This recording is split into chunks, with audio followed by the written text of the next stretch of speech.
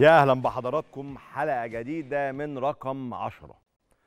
والله إحنا هنا في رقم عشرة قلنا إن كولر محتاج ياخد حقه شويتين ثلاثة مارسيل كولر المدير الفني للنادي الأهلي اللي تولى المهمة من عشر شهور بالظبط مع النادي الأهلي.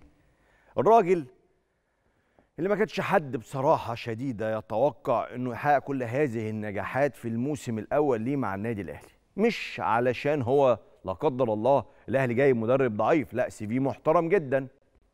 ولا علشان هو آه كان النتائج مش عظيمة للأهلي مع نهاية الموسم الماضي. بس الحقيقة إنه مدرب ما عندوش خبرات في المنطقة العربية ما عندوش خبرات في المنطقة الأفريقية ما عندوش خبرات بالكرة خارج أوروبا. فأنت بتتكلم في مدرب يعني لسه جاي يستكشف. لسه جاي يستكشف.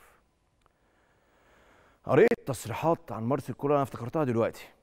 أول ما مارسيل كولر جه تدريب النادي الأهلي بدأت أسرش عنه وأشوف بيتكلموا عنه إزاي في النمسا وفي سويسرا سواء مع بازل أو مع منتخب النمسا أو مع الفرق اللي دربها. وكان لما بيتقال عليه انتقادات كانت بتتقال إيه؟ بتتقال إنه مدرب تقليدي طريقته تقليدية ما عندوش ابتكار.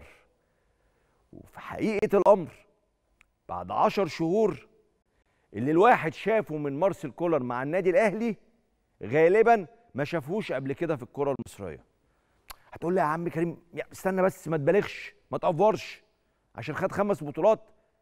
هو ده في حد ذاته شيء تاريخي. خمس بطولات في عشر شهور بمعدل بطولة كل شهرين.